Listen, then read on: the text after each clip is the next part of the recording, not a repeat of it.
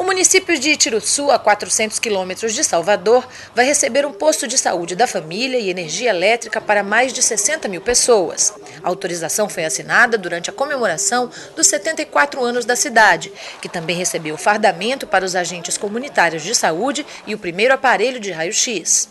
Vai servir para fazer exames de raio-x, extremidade e também é, pulmão, tórax, essas coisas. Já em Lafayette Coutinho foi entregue um centro digital de cidadania com livre acesso à internet e um posto de saúde da família, onde além de atendimento médico, os moradores também vão receber remédios gratuitamente. O município ainda vai ser beneficiado com a construção de outro posto médico e a chegada de energia elétrica em 350 residências. A gente deve primeiro trabalhar com foco nas pessoas mais humildes, depois com foco no social, saúde, educação, geração de emprego, e é isso que a gente está fazendo e eu só tenho que me orgulhar.